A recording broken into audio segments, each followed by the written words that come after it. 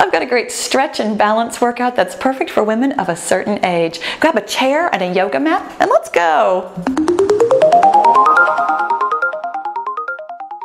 Hey Killer Bees, let's go ahead and get moving and grooving with some arm circles with high knees. And yes, even before a stretching workout, we're going to do a very gentle warm up. You guys, welcome to today's very different to workout. I'm Pahla B, your best middle-aged fitness friend. And around here, we talk about making peace with your menopausal body. And today, what that means is that we are taking a glorious day of active rest. And I know, I know that that for some of you, myself included, that this is way outside your comfort zone, that you are so used to pushing and pushing and pushing and pushing and not necessarily taking the time for something like a beautiful stretch. This is going to be a great workout for both of us. this is going to be a great balancing workout, as you can see, but also a chance to really pay attention to our bodies. Let's go ahead and do some arm crossers with booty kickers. This is a little bit faster than that last exercise, but still not fast. There is nothing about today that should feel like a push at all. Now, some of these stretches, the reason we are doing a warm up, some of these stretches are very static some of them are going to be I don't want to use the word uncomfortable because stretching should always be right to the edge of where you feel the stretch, but nothing that pulls into, you know, something that could be uncomfortable or even injurious to you. But but maybe even the act of stretching at all or the act of taking a rest day at all might feel uncomfortable. And I know, I know, because I kind of feel the same way. You guys, today I am I am coming right to the limits of what I am capable of doing with my yoga practice. We are all standing today. There's absolutely no floor work. I just have the mat here for a little bit extra sticky underneath my toes to make sure that we don't fall out of any of these balance poses. There's nothing super super balancy, but there are some, well, no, that's not true. They're not super balancy because I have a chair next to me. I will be holding on to the chair for anything that we do with balance. For my experienced yoga bees, you might not need that. Let's go ahead and do some welcome to my homes, stretching out your chest, and your abs, making sure that your shoulders are starting to feel more open, that you've gotten most of the cricks and cracks out of your toes and ankles, more or less. I always have more in there. We are going to be stretching and opening up pretty much every one of our joints today. We're working a lot on relaxing some of our upper body tension and opening up our lower body to relax and relieve tension from our hips as well. Some of these poses might be very difficult, which is why I have a chair. I'm not doing anything especially deep or super balancy. If you have experience with these poses, you can absolutely take them deeper, make them your level. Help yourself to making today feel peaceful for you. We're gonna get started with a standing cat and cow, which means that we're gonna stand with our feet just about hip width apart. We're gonna curl down, bringing your shoulders forward, really arching your back like a cat. We're breathing. We're relaxing everything that isn't working and we're stretching along our upper and middle back. And then we're going to pull it back, pull your hands back behind your hips. We're looking up and pushing your hip bones back, arching down like a cow. Sometimes when I look up like this, I get a little dizzy there are some poses today that might feel like a little too much. Go ahead and come back into a cat. Finding that exact right position where you feel the stretch, but it doesn't feel like too much. It doesn't push you past your limits, but takes you right to them is exactly what we're looking for today. Being open to this experience, come back into that cow, push your hip bones back, tip your head back as far as feels comfortable, Feel that arch in your back so it's a stretch in your abs. Open up your hands out to the side. Back to cat one more time.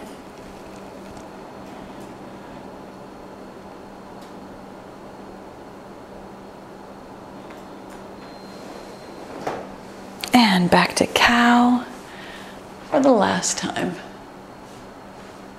Really feel that stretch. You can feel as we move through these poses a couple of times that each time you come into it, it feels a little bit different. Maybe a little bit more flexible. Maybe you're using a different muscle in a different way. Pay attention to that. It's part of what we're doing today. Now I'm going to turn to the side and grab my chair here real quick so that you can see. We're coming down into a forward fold.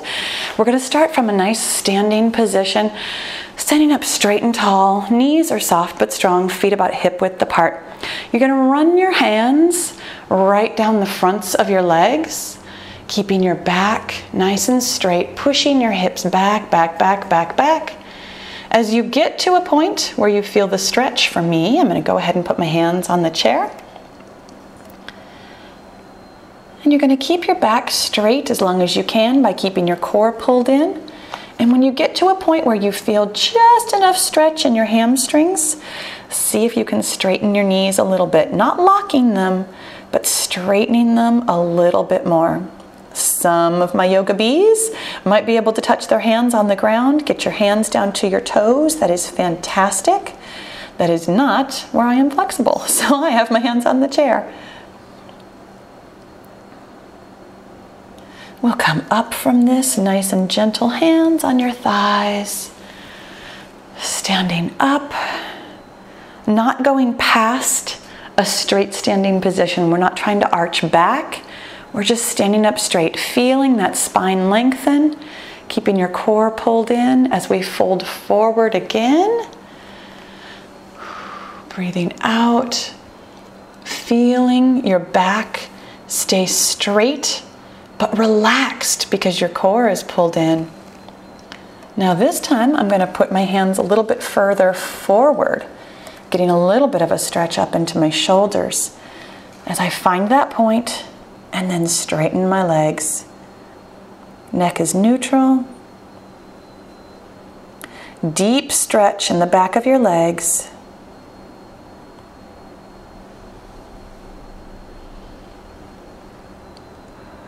Breathing gently, whatever feels natural and comfortable for you.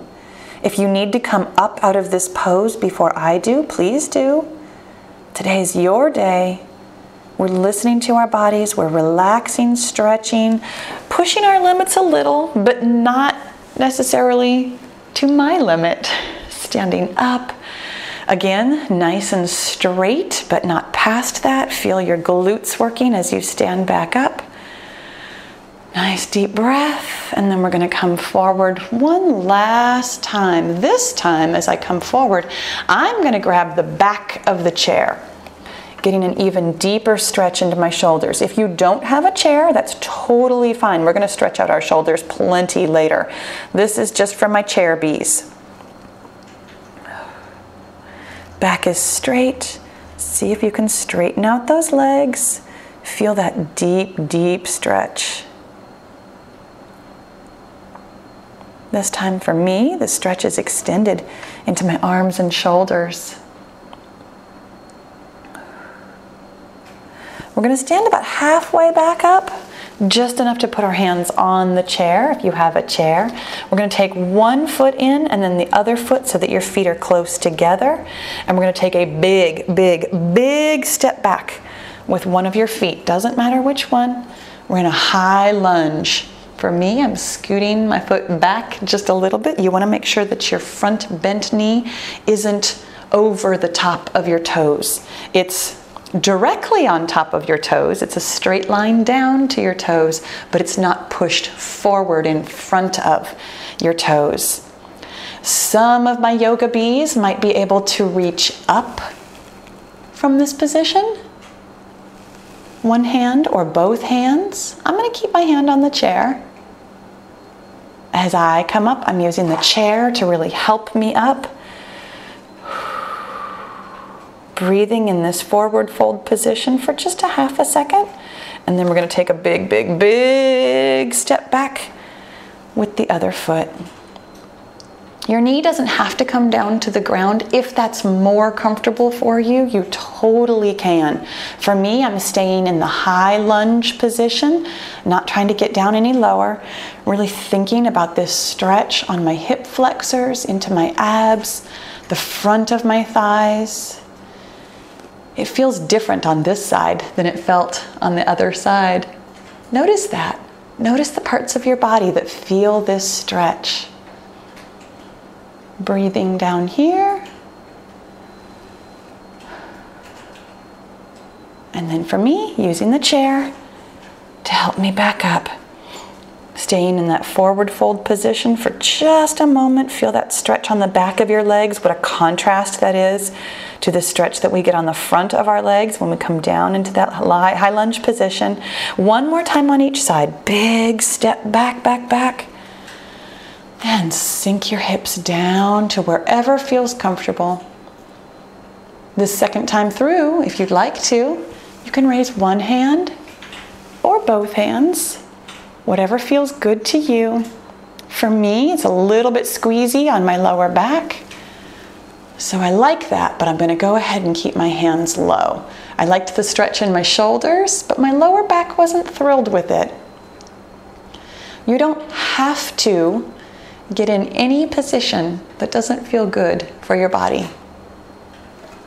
And then we stand back up, nice and strong. Stay in that forward fold position for just a moment. Flatten your back, pull in your core, catch your breath, and then step big step back on the second side the final time. Nice breath. The thing about stretching is it's relaxing, but it's also work. Thinking about the work, but thinking about the stretch as well. Finding that delicate balance. We talk all the time about work life balance. This is work stretch balance. That's part of life. And we'll come up, up, up. Stop in that forward fold just briefly. Relax your neck in case it wasn't already. And then stand. Roll your shoulders for a second. I'm going to face forward again. I'm going to scoot the chair just a little bit over. We're going to do a triangle next. And what that means is that we're going to have our feet nice and wide, super wide, almost uncomfortably wide, feeling that stretch in your inner thigh already. Your opposite hand goes up while the same hand rolls right down the side of your leg. Now here's the thing, for me, this balance gets a little bit tricky, so I'm gonna go ahead and hang on to the chair because as we're in this triangle position, you wanna rotate your neck and look up at your hand in the ceiling. This particular position almost always gives me vertigo, which is why I have this chair here. The stretch feels amazing, but it's a little bit tricky for me.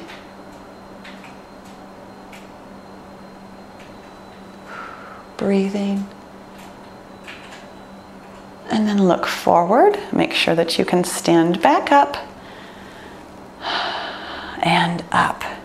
Now, for my purposes, I'm going to do it on the same side one more time before I switch the chair.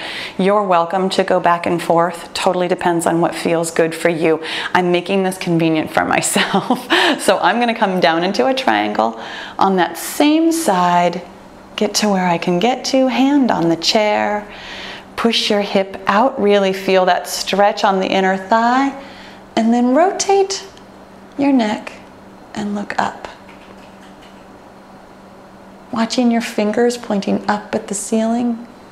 Noticing the work in your neck, the stretch in your arm and your shoulder, the stretch on your inner thigh using your core and breathing, of course. And then I'm going to look forward, always looking forward, and standing back up. Okay, so for me, I'm gonna move my chair real quick so that I can do that exact same thing on the other side. You are welcome to bring your feet in for a quick moment. Catch your breath. And then I'm gonna spread my feet nice and wide, almost uncomfortably wide, but not too uncomfortable. Feel that stretch. Feel the work in your hips as one hand goes up, the other hand slides down. Not as far on this side for me. And then once you find a comfortable position, rotate that neck. Oh, even the neck rotation is harder on this side for me.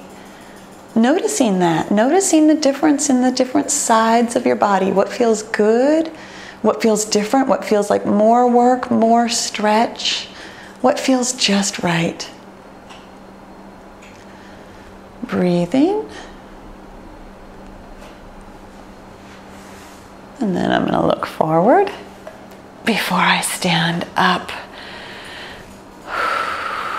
Nice deep breath. That work in your shoulders, it's a stretch, but it's work. It's okay to kind of roll it out in between. Here we go. Up again. The second and final time. As you get into that position, pushing your hip out to the side, feeling the work in your inner thigh, looking up at the ceiling or wherever you can get to. That's work in your neck. When you have tension in your shoulders, this feels tough. We're not straining in any position. We're asking our body gently, nicely, kindly to stretch a little. Looking forward and standing up. Awesome job. Go ahead and bring your feet together. Take a nice deep breath with your feet about hip width apart here. I'm going to roll my neck around one way and then back the other. Feeling that work in my neck from looking up at the ceiling. want to make sure that I stretch it out just a little, rolling back the first way and then the second way.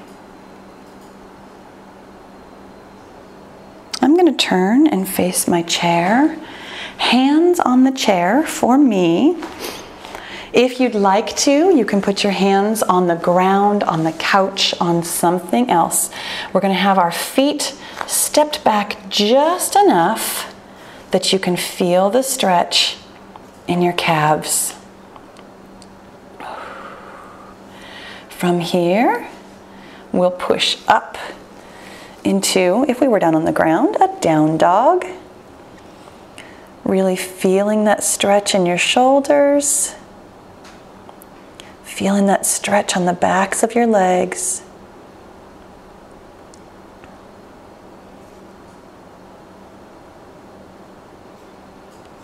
Breathing, relax your back. And then come back forward into that modified plank. I'm going to move my hands forward a little bit, making this stretch deeper as we push back up, up, up, up, up. Feeling that work, that stretch, that opening in your shoulders. See if you can get your head down in between your biceps without, without bending your neck. Neck is neutral, but your shoulders are stretching.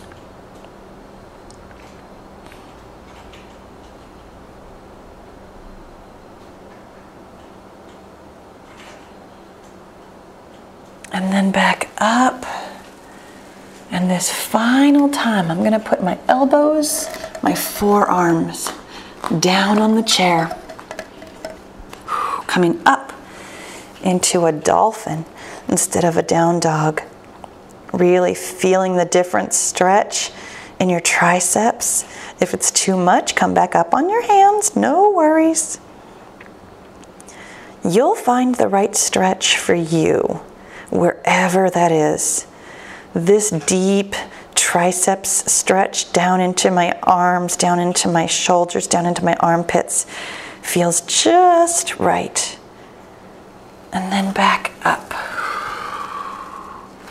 Bringing one foot forward, revisiting an even higher high lunge, just real quick, hands back up on the chair. Feel that stretch again on your calves. Come back out to the plank, and then bring the other foot in for a little bit of that high lunge again. Awesome job. Bring your foot about halfway out and the other foot to meet it.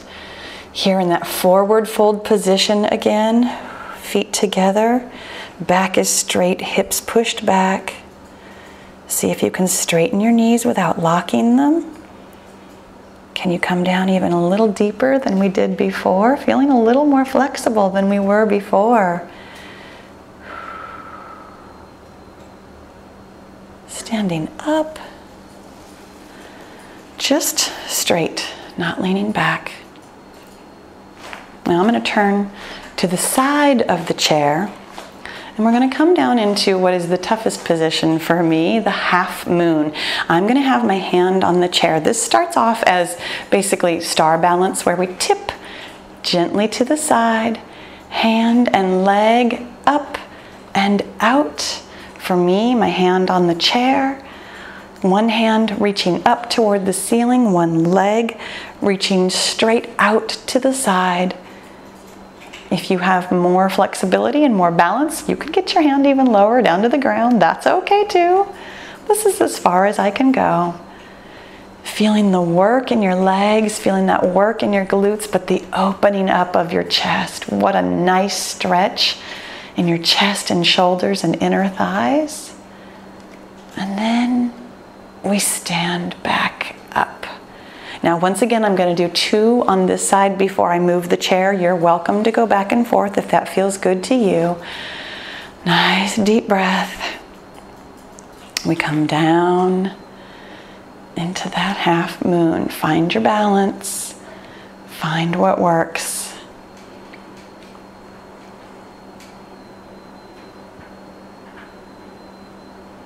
Awesome job.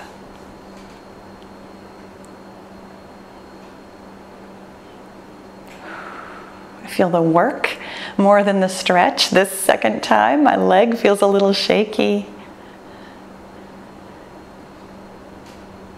And then up we come. Find your balance. Nice and gentle. Great job. Take a nice deep breath. I'm going to move my chair. Going to do that half moon on the other side. Figure out exactly how far away that chair is. And up and over we go. Gently, easily, not fast. Neck is neutral. Find your balance. Hand is up, leg is out, as straight as you can make it. Core is always working. Even with your hand on a chair, your core is doing a lot of work right here, my friends. It's the hidden gem of any kind of yoga, even stretching yoga. We are working our core. Let's stand it up. Find your balance. Stand up gently. We're controlling that motion. Awesome job. Deep breath here, and then we're going to do this one more time. And over we go. Nice and slow, nice and controlled. Find that balance of work and stretch and comfort and right at the edge of your comfort zone. Excellent, excellent job. And up we come. Nice and controlled. The chair is still there if you need it. And I have one final deep, deep stretch for our hips. We're gonna come down into a garland pose. I'm gonna turn and face the chair so that I can come down nice and deep into it. Feet wider than hip width apart. For me, I'm gonna grab onto the chair as I'm coming down, down, down in this squat. Your goal is to sit down as low as you can with your elbows between your knees. Relax down into it. See how close you can get your hips down to your heels. We're not going to stay here long, and we're just doing this the one time. So, breathing into it, feeling the work, feeling the stretch, the balance, the strength. It's all in you. It's all in all of us.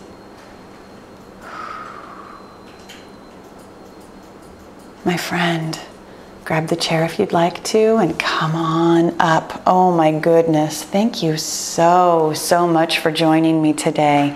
I do have, I do have a little bit more yoga if you'd like it here on screen. I also have the letter P, which is an invitation to go over to Patreon where a monthly pledge from you helps me make free workouts for all of us. And thank you for that. On the other side of the screen is a picture of me. That's a subscribe button. Make sure you click that and I'll see you in the next video.